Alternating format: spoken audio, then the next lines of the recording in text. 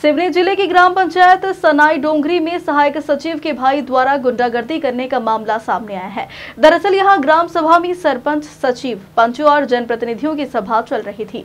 इसी दौरान ग्राम सभा में सूचना के अधिकार लगाए जाने के मामले में दो पक्षों में विवाद हो गया, जिसके बाद दोनों पक्षों के बीच जमकर झुमाझटकी हुई। इस दौरान कुछ लोग सहायक सचिव के भाई को बाहर निकालते हुए नज़र आ रहे हैं, जिसका वीडियो अब सोशल मीडिया पर जमकर वायरल हो रहा है। Amen.